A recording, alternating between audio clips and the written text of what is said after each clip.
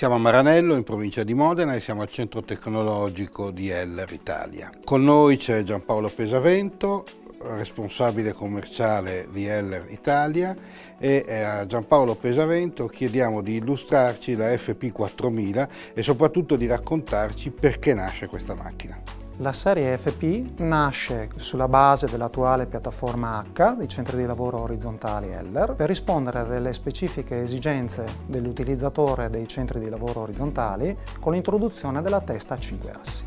Parliamo adesso di mercati di destinazione, sia in termini tecnici che in termini geografici. I settori di riferimento a cui si rivolge la serie F sono tipicamente la costruzione di componenti di macchine, quindi la meccanica generale, la produzione di componenti per il settore dell'energia, l'aerospace e il settore delle lavorazioni degli stampi, dove l'Italia storicamente ha numerosi utilizzatori, un segmento ampio di utilizzatori di questo tipo di centri di lavoro può contare su un prodotto Heller perfettamente integrato con la piattaforma H attualmente in produzione. FPD Heller è una serie di macchine per il momento disponibili in due taglie, 2000 e 4000. Esistono due tipologie di, di versioni, una macchina con senza cambio pallet e una macchina con cambio pallet. Due tipologie, due taglie con una corse di lavoro 630 mm per la 2000 800 mm per eh, la 4000.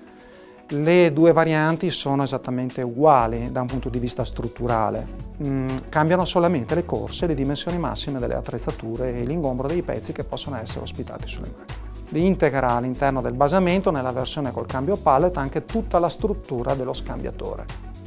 La tavola ha l'asse Z, il montante possiede l'asse X e la testa l'asse Y scambiatore utensili e magazzini laterali del tutto simili alla variante H, oggi in produzione. Due tipologie di testa, una testa C con asse inclinato di 45 gradi rispetto all'asse verticale YZ e una testa tiltante che è un vero e proprio asse A con comando diretto attraverso Direct Drive che aziona l'asse A della testa. Mandrini in tre configurazioni disponibili su entrambe le tipologie di testa mandrino con trasmissione meccanica ad alta coppia, mandrino intermedio speed da 16.000 giri o un elettromandrino ad alta velocità da 24.000 giri.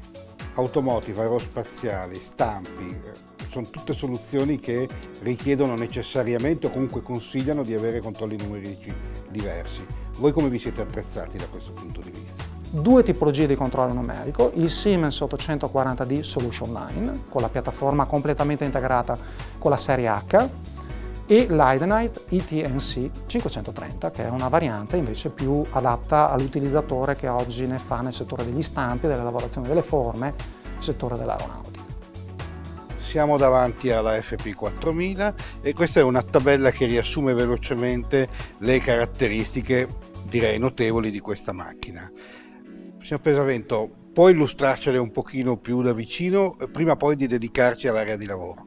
Le caratteristiche principali e più importanti di questo centro di lavoro sono le corse 800, 800, 1000 sui tre assi, dimensioni massime delle attrezzature diametro 900 per altezza 1000, peso massimo sul piano pallet 1400 kg, la possibilità di utilizzare una tavola a tornire fino a 1000 giri al minuto e una testa mandrino, in questo caso con trasmissione meccanica, una coppia massima di 240 Nm, quindi una testa dedicata all'esportazione.